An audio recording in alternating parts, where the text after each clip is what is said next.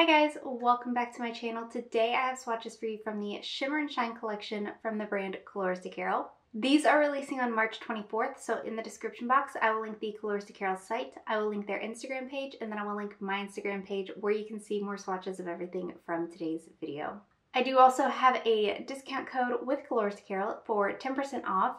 It's not an affiliate code, it's just there as a thank you for ordering from her site and watching my video. It's on the screen as well as in the description box. So we do have six polishes in this collection and let's go ahead and get started. So first we have Diamond Dreams, and this is described as a green to olive to blue to yellow multichrome with purple to pink to yellow shimmer, holographic flakes, and iridescent chameleon flakes.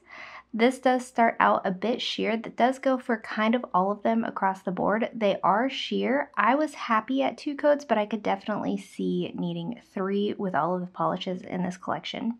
You could also layer them over a black or a deeper coordinating color, and that'll also help the shift stand out a little bit and the flakes stand out a lot. But I do like them built up on their own. The formula was excellent to work with, not too thick or too thin. I had no running, pulling, or staining with anything in this collection.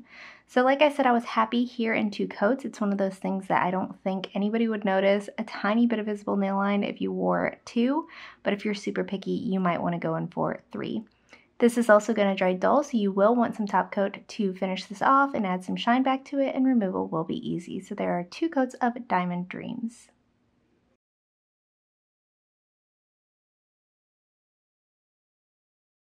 So up next we have Garnet Glamour, and this is described as a bright pink to purple to copper to olive to yellowish green multichrome with green to yellow to purple shimmer, holographic flakes, and iridescent chameleon flakes. I am really glad she provided color descriptions for these polishes because there's no chance in heck that I would have gotten all those colors out of these. But you do see them, but describing multichromes is really difficult for me. This is probably my top pick of the collection. It is very shifty, and I love a shifty on shifty element, and the holographic paired with the iridescence is absolutely beautiful. Again, I was happy here in two coats, but again, I could see needing three if you're super duper picky.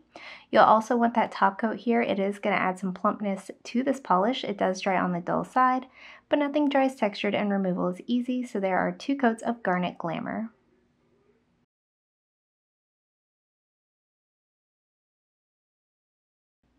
Up next we have Gemstone Glimmer and this is described as a purple to blue to bright green multichrome with a pink to purple shimmer, holographic flakes, and iridescent chameleon flakes. Just like everything else in this collection, this does start out pretty sheer. I primarily got this like blue turquoise color under my studio lights and I loved it. And then you get the darker blues and then the purples at extreme angles. And I thought it was gorgeous paired with the iridescent flake color. The um, pinky purple really shines off the bluey purple beautifully.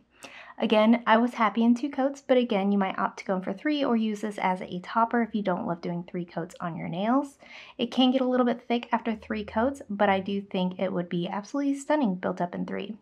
Again, you will want that top coat to add some shine and plumpness to your finished manicure, but nothing dries textured and removal is easy, so there are two coats of Gemstone Glamour.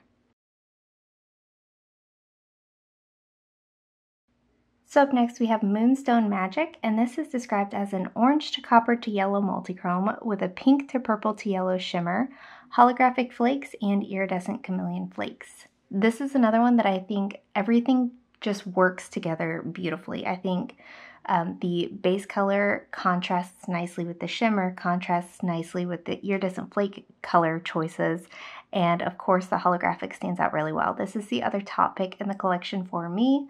Very flattering, and I think it's a gorgeous color for the summer. The holographic element that's in here, I also feel is the strongest of the collection. I'm sure there's the same amount in all the polishes, but it was most apparent in this color to me against the base color. Again, I was happy in two coats here. Everything's nice and easy to manipulate. You don't get a cluster of flakes or too much of one thing in one spot, so it is very beginner friendly. So there are two coats of Moonstone Magic.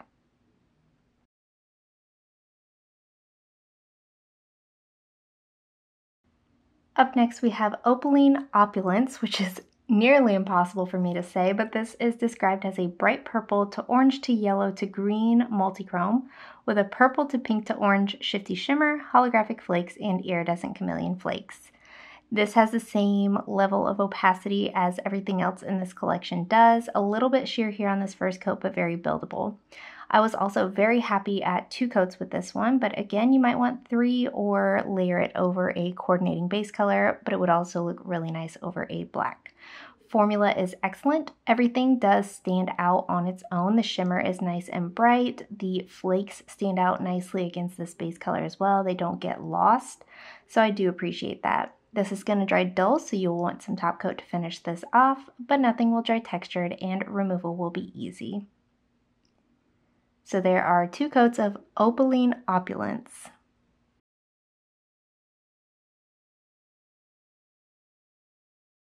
And lastly for today we have Peridot Princess, and this is described as a blue to purple to red to copper multichrome with a yellow to green shimmer, holographic flakes, and iridescent chameleon flakes.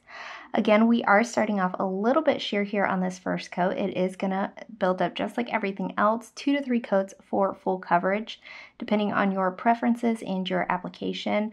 And you can also use this one as a topper over a darker color or coordinating base color. Formula is the same, very smooth, very easy to work with. All of these are nice and what I would consider beginner friendly. You don't really have to think about manipulating them. They apply nice and evenly. They spread out easily across the nail. They do dry on the dull side, but a top coat does help that. And there are two coats of Peridot Princess.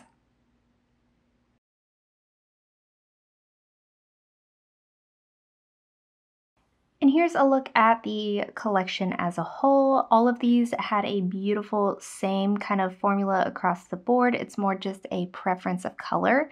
And obviously I wasn't able to capture the shiftiness of a multichrome under my studio lights, so I do apologize for that, but they are very shifty in person and each one of these stands out beautifully. All of them do have a holographic element, but other than that, the shimmer colors, the base colors, and the iridescent flake colors are different, and I love it. And guys, that is it. Let me know in the comments below what you thought of these polishes. Let me know if you plan on picking any of them up, and let me know what your favorite was. Give this video a thumbs up if you liked it, subscribe if you'd like to see more from me, and I will talk to you again next time.